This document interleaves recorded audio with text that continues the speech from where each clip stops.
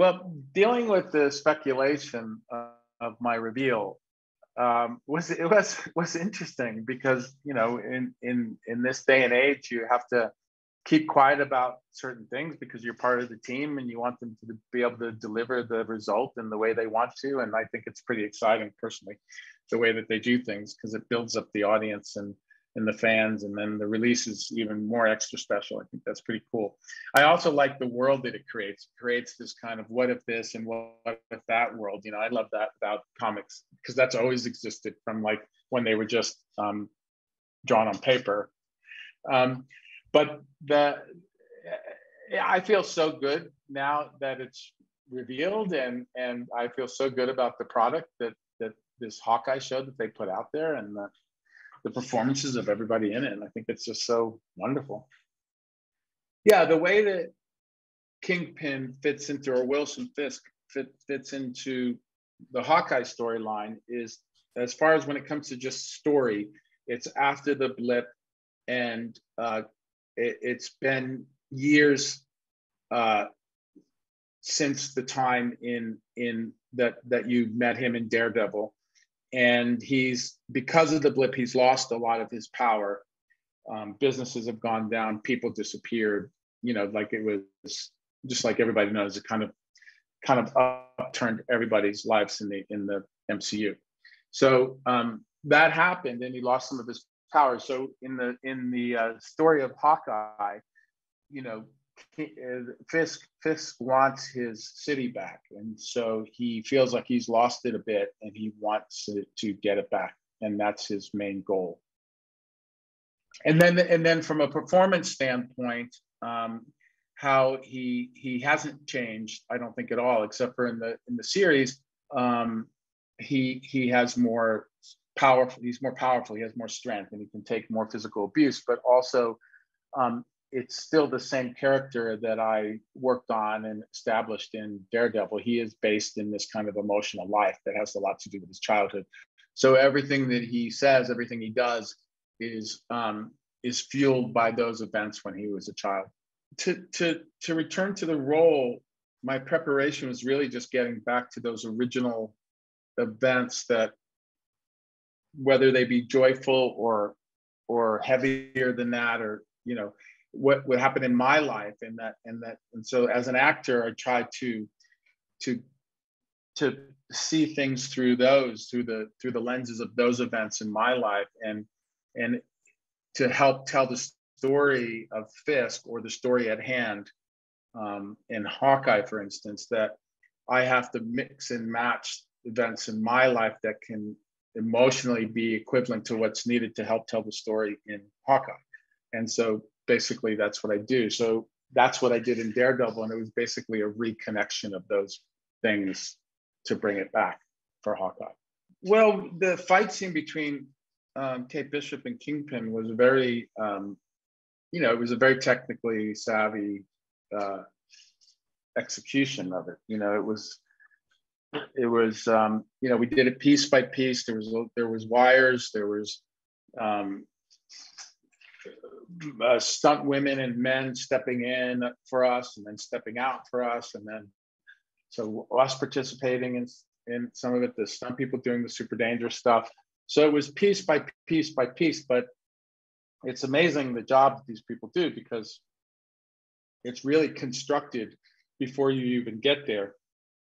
And you have a little bit of a, a contribution to it on the day when you're actually shooting about it but all of the main pit bits of the fight are are done by the stunt team and and shot on video. Um, you know not in costume really or anything but in a very kind of particular way.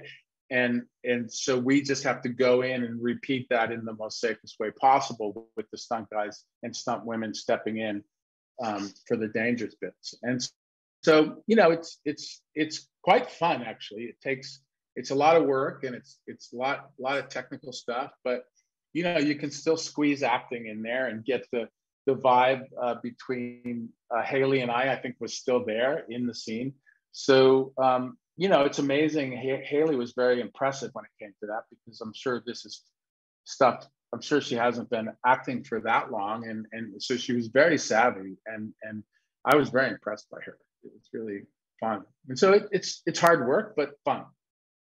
Well, because you, in my case, I always approach a villain as if they're not a villain, that they're just misunderstood, and that they're actually kind of okay, and and um, and have the same problems everybody else has.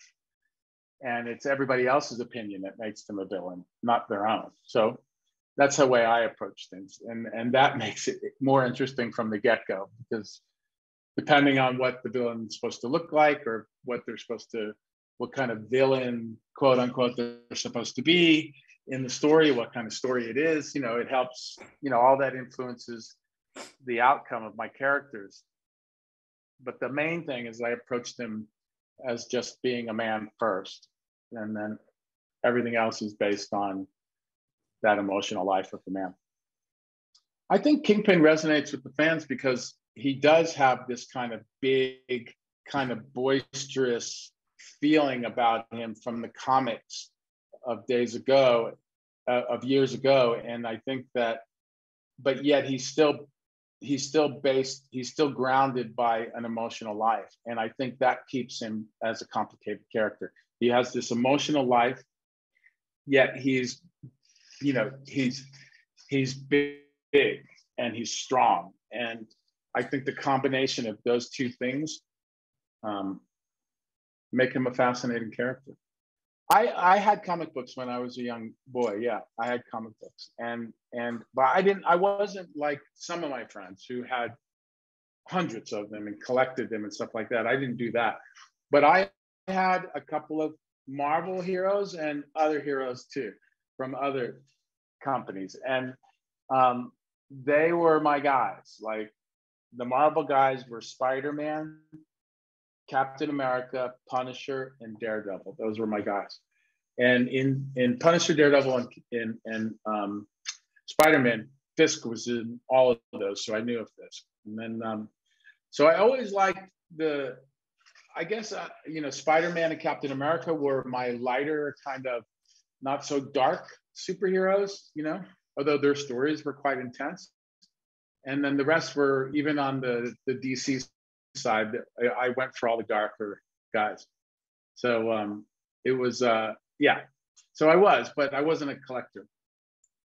Well, I, I, I think it's the same way that you know everybody has a different different taste in what they um, want as their entertainment or what they read or what they watch. And I think that when it, I think similar to crime novels and you know or you know regular science fiction or fantasy stuff. I think that I think the comics and I think these movies have a lot to do with people, you know, seeking adventure in their life, and these movies are adventures. And um, the it's it's exciting to live through a character that is beyond yourself and i think that that's always the main attraction i think early on you know, with pulp fiction writers back in the day when they would write like crime noir kind of novels and stuff like that, and old Western novels and stuff. People were able to live, people were able to live vicariously through these darker, more scary, and more exciting lives. And I think it's the same thing that's happening today with um, all of Marvel's films in the MCU.